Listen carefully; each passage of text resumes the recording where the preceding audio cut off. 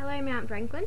Um, my name's Rian and in 2007 my mum had breast cancer and it was a really hard time for me and my family and I love what you're doing. I really wanted to help and support and I hope that this video gets one dollar and yeah I just want to thank you so much because I know like so many families out there have so many or like have people in their family that might have breast cancer and I want like I want it to go away. I want it to be I want there to be a cure and so I want to thank you so much. And yeah.